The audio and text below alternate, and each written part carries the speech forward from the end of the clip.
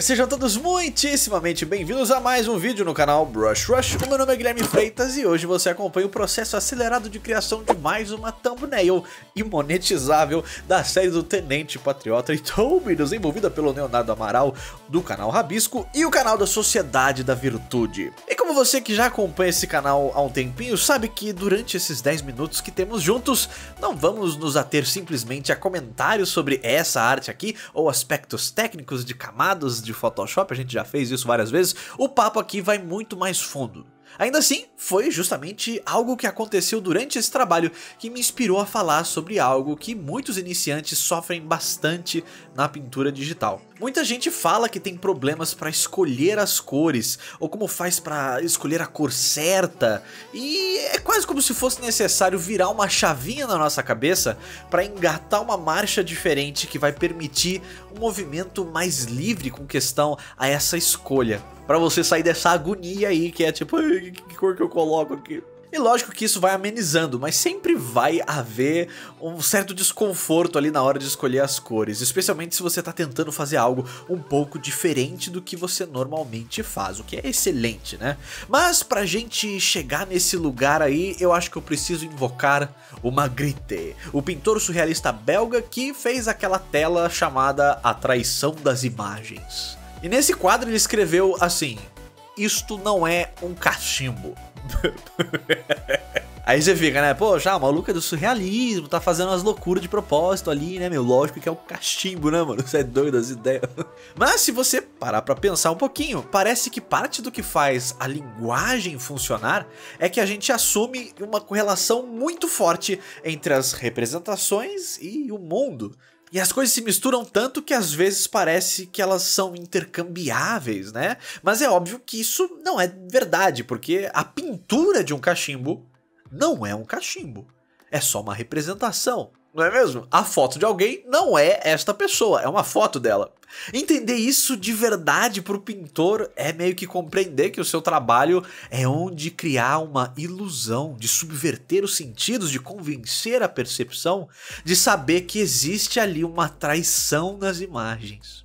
E quer saber? Acho que dá pra gente ir um passo além. A gente poderia tentar ser ainda mais ousado que o Magritte, meio megalomaníaco, mas eu acho que a gente poderia pintar uma tela inteira de uma única cor, sei lá, laranja, e escrever na tela: Isto não é laranja. E aí, isso faz sentido para você? Poderia ser que também existe uma traição nas cores? E que um quadro laranja não seja laranja? Mas pra gente começar a falar sobre cor de uma forma um pouquinho mais profunda, a gente vai ter que separar dois termos aqui. O primeiro é cor local e o outro é cor percebida. Para você entender essa diferença, vamos fazer um experimento de imaginação aqui? Imagine uma porta de madeira na sua frente, com uma maçaneta de metal escuro.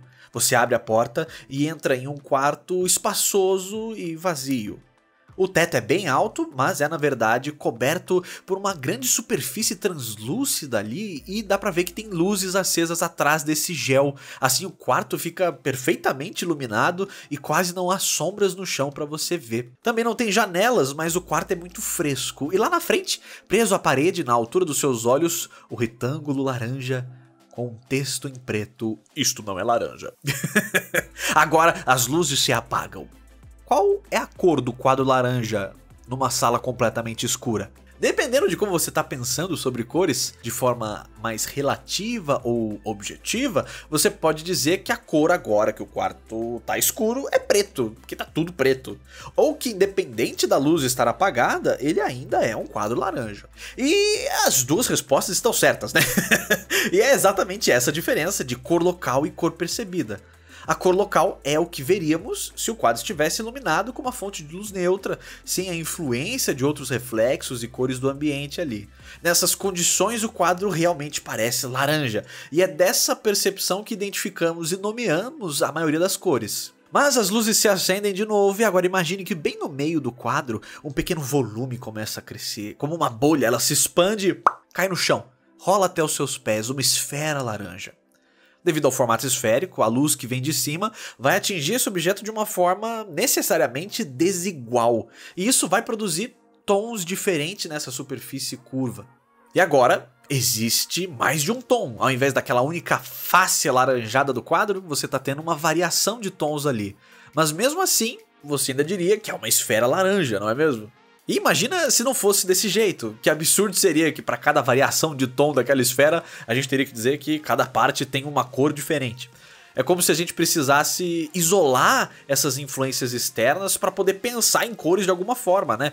Meio que imaginando qual que é o pigmento que foi utilizado. A gente vê aquela única cor sólida na nossa mente. E isso não parece muito mais com uma representação do mundo das ideias do que do mundo real? Esse meio que é o conceito de cor local. Mas é assim que a gente aprende a pintar no começo, não é? Quando criança, a grama é verde, o céu é azul, o tronco das árvores é marrom. E eu acho que é com essa mentalidade que a gente entra no mundo da pintura digital. E na verdade, conseguir fazer isso é uma capacidade humana incrível, né? De ver um monte de tons diferentes e ainda conseguir identificar uma única cor ali. E por mais que esse tipo de nomenclatura constante para as cores mesmo que elas variem um monte de formas diferentes, seja útil para a gente viver no mundo e falar sobre as cores de forma mais sensata, na hora de reproduzir uma imagem não dá tão certo. Vamos continuar o nosso experimento mental. O mesmo quadro laranja, por exemplo, iluminado somente pela luz da lua, o teto sumiu, puf, ficaria muito menos saturado, não é? E provavelmente uma cor mais fria e muito mais escura. Mas ainda assim, seria um quadro laranja não é mesmo? E se a gente acender agora somente uma vela? Teremos partes do quadro muito mais escuras e outras mais claras, as que estão mais perto do fogo e talvez bem mais saturado e mais quente. Agora o quadro está tendo variações de tom que vão do azul pro laranja, pro vermelho e ainda assim seria um quadro laranja, não é?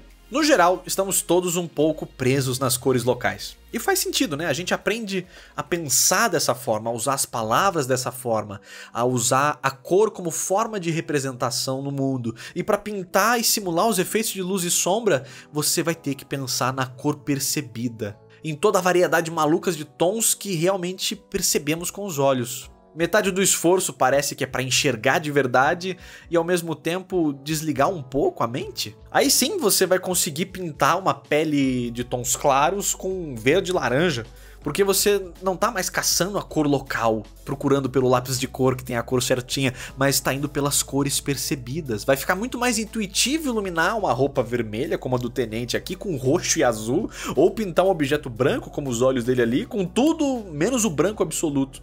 Você precisa fazer essa transição onde as cores já não são mais os seus nomes e classificações constantes e ideais, mas uma variedade ululante ali de influências determinadas por todo tipo de contexto. Às vezes a época do ano produz no céu uma influência atmosférica que faz o entardecer tão diferente. E na sua próxima viagem, talvez você vai reparar no quanto o céu impacta as cores de um chão de terra e vai ver roxo e azul nas sombras mas nem ouse falar desse mundo enorme de percepção diferente, porque vão te achar meio estranho. E o pessoal vai falar, onde rosto? Tem rosto nenhum aí, o chão é amarelo, laranja, sei lá. Eles vão ficar insistindo na percepção das cores locais. É muito difícil fazer uma pessoa que não tá com o olho aberto para esse mundo é, perceber isso. É muito complicado mesmo. E é nesse sentido que eu acho que o Magritte estava mais do que certo. Há sim uma grande traição nas imagens e nas cores também. Na verdade, em tudo que tem a ver com a visão e a percepção. Então, ao invés de você ficar caçando qual que é a cor certa, eu acho que o que você precisa é pensar um pouquinho menos e observar um pouquinho mais. E eu acho que no longo prazo isso vai acabar diminuindo um pouco essa sua agonia na hora de escolher as cores. Ah, e lembre-se, isto não é um cachimbo.